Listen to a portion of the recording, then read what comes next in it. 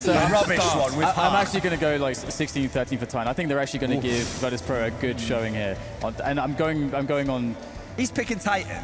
Yeah, well, Yeah, I 16 mean, I'm If, actually- he, if Titan lose, I've crucify this you man. on, guys. All right, I'll- Semmler, I'll can I take get it your quickly. prediction, please? Yeah, no, for- Gonna keep it short and sweet. Virtus Pro 16-10.